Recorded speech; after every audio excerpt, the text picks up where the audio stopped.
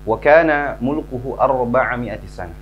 Dia berkuasa selama 400 tahun lamanya.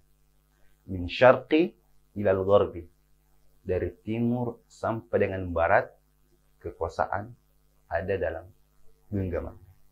Dalam sejarah dikatakan raja ini bernama Namrud. Raja ini adalah raja yang sombong. Dengan kekuasaan yang dimiliki, mengakibatkan dia menjadi sombong. Apa kata raja ini? Kata raja ini kepada semua pengikutnya, Rabbun ghairi. Rabbun ghairi. Adakah Tuhan selain aku? Lalu Allah Subhanahu wa taala mengutus seekor lalat. Lalat ini masuk ke dalam telinganya memakan otaknya, matilah sang raja ini. Mati dengan seekor lalat. Begitu hinanya.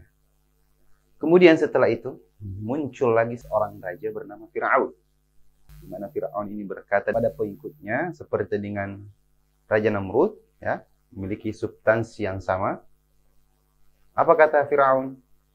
Ana rabbukumul a'la. Saya Tuhanmu yang maha tinggi. Ternyata kekuasaan harta itu mengakibatkan bagian orang di mana? Ketika memiliki harta, ketika memiliki kekuasaan, yang tadinya makhluk seolah-olah menjadi khalik seolah-olah menjadi Tuhan.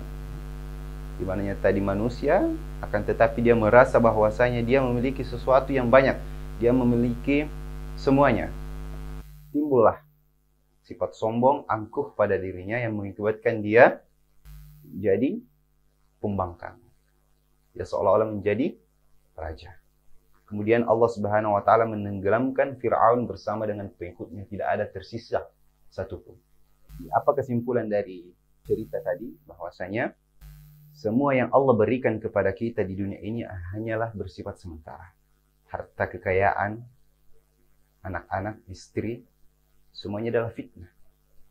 Kata Allah Subhanahu wa taala, "Innama amwalukum wa uladukum fitnah." Tiadalah harta kalian atau anak-anak kalian itu hanyalah cobaan. Apakah ketika kita diberikan harta, diberikan anak, diberikan istri, apakah kita bersyukur atau tidak? Kata Allah, la in syakartum la azidannakum. Apabila kalian bersyukur, ya, la azidannakum, pasti kami akan tambah. Pasti kami akan tambah nikmat kami. Itu kata Allah Subhanahu wa taala. Mudah-mudahan apa yang saya sampaikan dengan cerita tadi ya, dengan cerita yang nyata itu menjadikan kita uh, mendapatkan pelajaran, ada istifadah yang bisa kita ambil.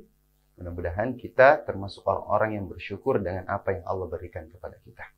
Syukran ala husni. Assalamualaikum warahmatullahi wabarakatuh.